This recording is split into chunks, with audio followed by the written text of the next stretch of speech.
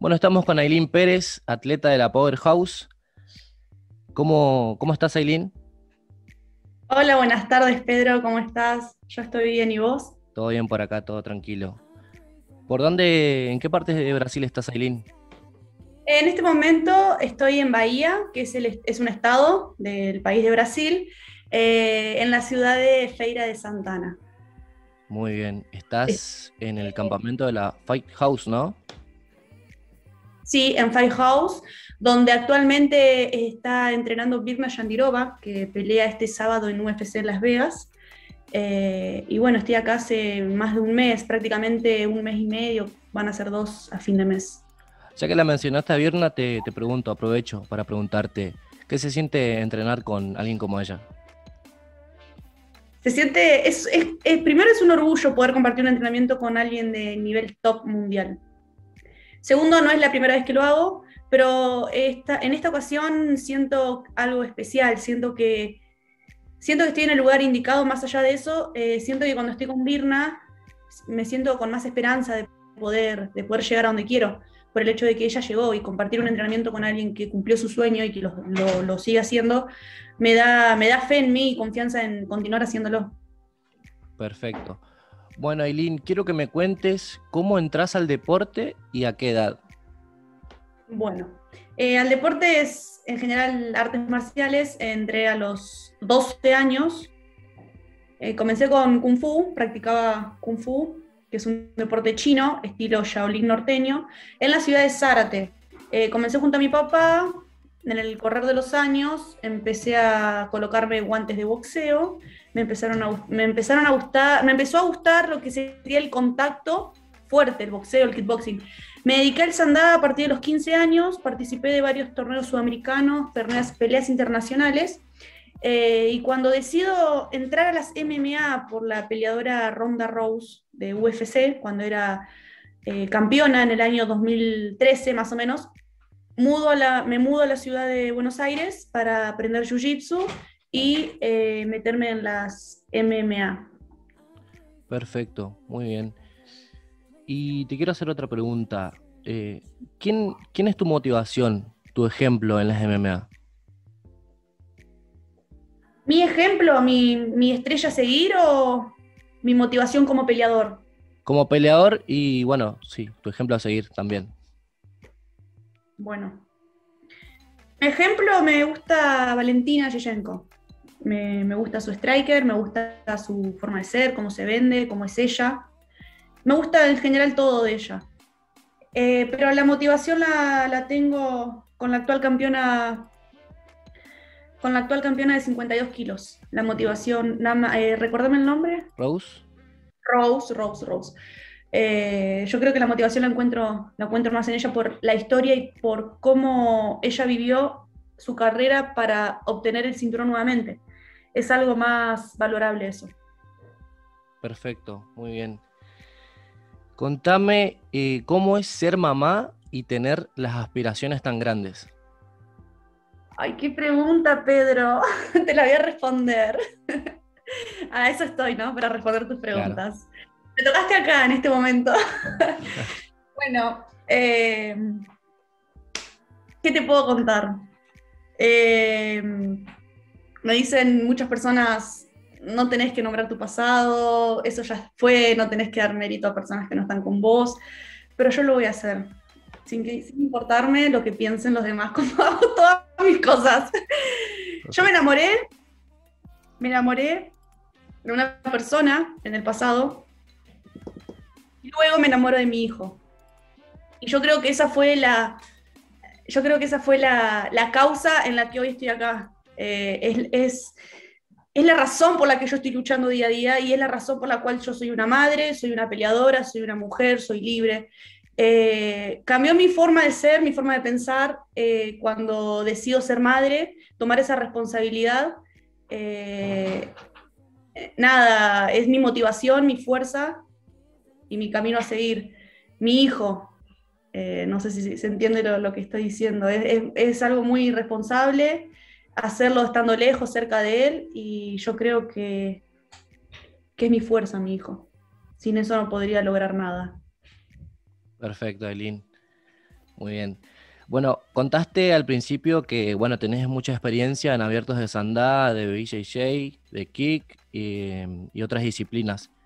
¿Sentís que, que, eso te va a ayudar a hacer la diferencia cuando, bueno, llegues a la UFC? Sí, la diferencia la hice desde la primera pelea, desde la primera pelea, primera pelea de MMA. Eh, una, una atleta que quiere ser campeón del mundo yo creo que va a querer aprender todos los días.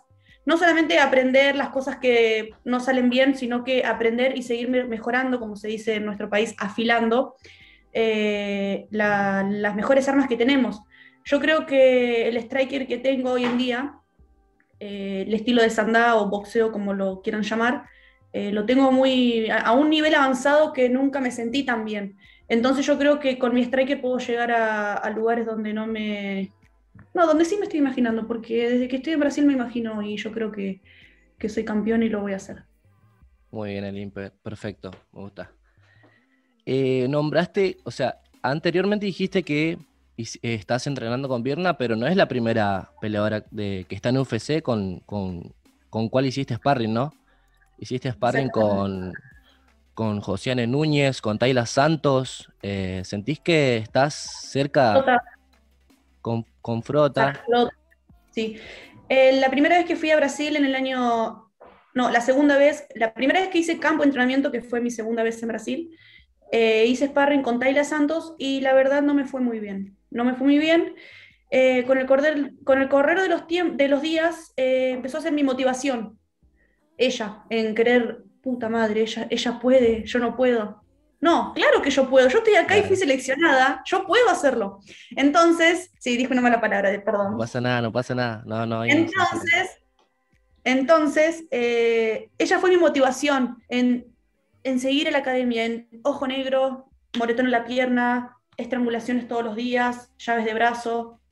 Nada de lo que ella me hizo, la nombro Tayla Santos porque fue la primera mujer que me noqueó en mi vida. no, la nombro porque fue eh, mi motivación UFC la primera en entrenamiento, fue mi primera experiencia. Después la conocí a Sara Frota, que por ahí el nivel era distinto, y después terminé entrenando con Josie. Eh, así que cuando vine a hacer el campo de entrenamiento con Birna, vine un poco más preparada.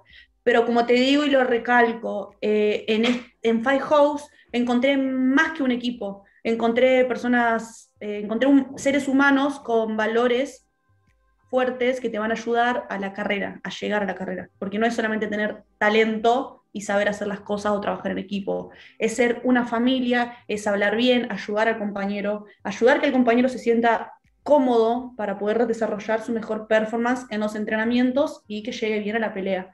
Yo creo que eso es lo más importante, el trabajo en equipo emocional y mentalmente. Entonces, eh, lo dijiste, pero quiero que, lo recalques. ¿Sentís que estás cerca de, dar un gran salto deportivo? Sí, sí. Eh, más allá que en cada pelea lo, siento así, en cada entrenamiento lo siento así.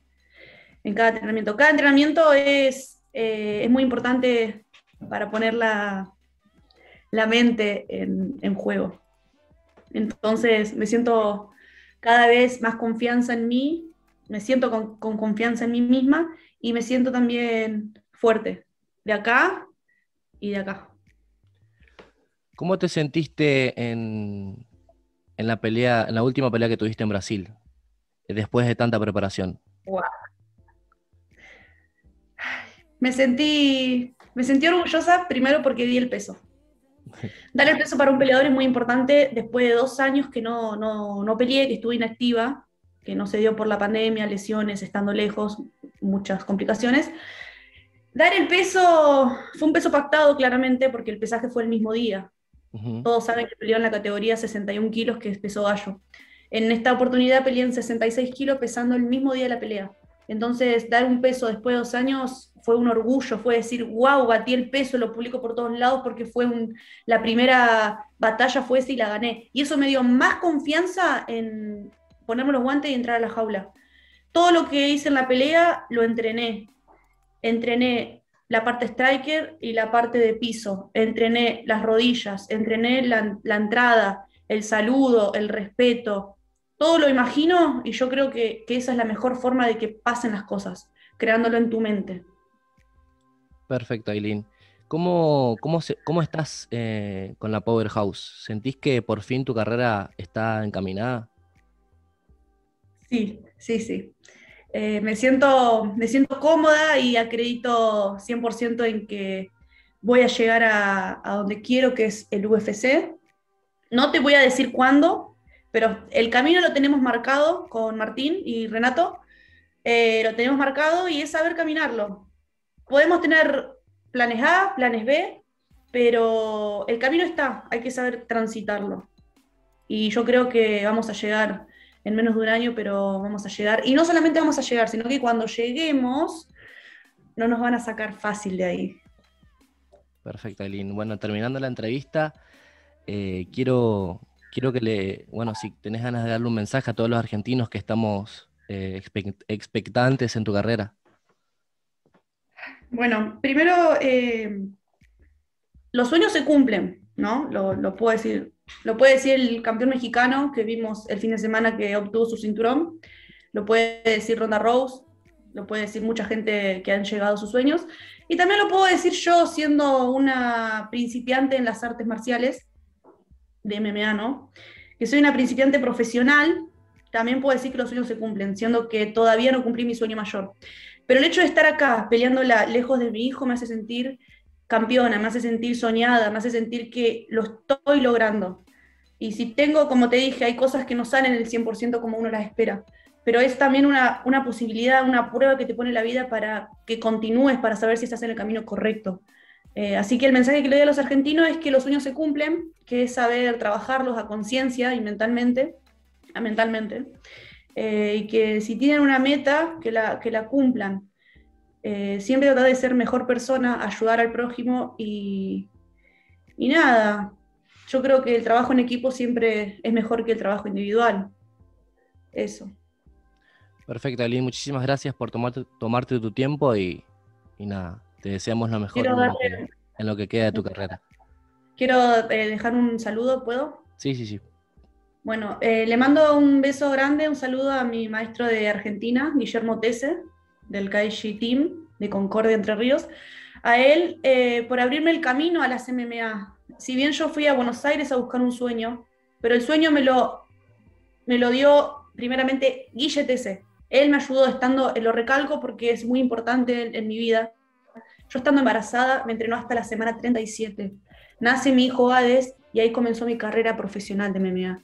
Y, es, muy importante para mí destacar esta parte porque sin su ayuda y sin, sin dejándome volar y después abriéndome las puertas de su academia, yo no es posible que yo haya llegado con mi mejor performance a estar entrenando ahora a la altura de Birna Yandirova. Entonces les mando un fuerte abrazo a IGTS y a todos mis compañeros que son parte de mi entrenamiento y de mi, carrera. Y un saludo grande a la abuela de mi hijo que está haciendo un trabajo sensacional con el cuidado de mi hijo y también es, importante recalcar que lo, cuidan muy bien, le dan una buena atención para que esté mi foco 100% eh, en poder estar acá. Eh, y gracias a vos por, por hacer esto posible.